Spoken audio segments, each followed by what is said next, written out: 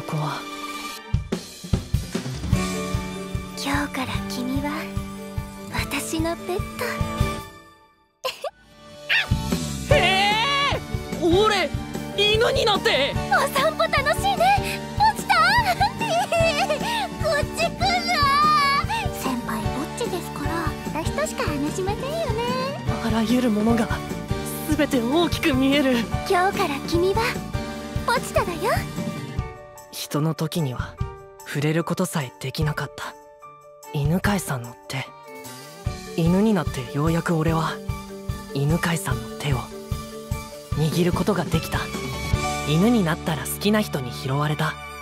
2023年1月放送開始。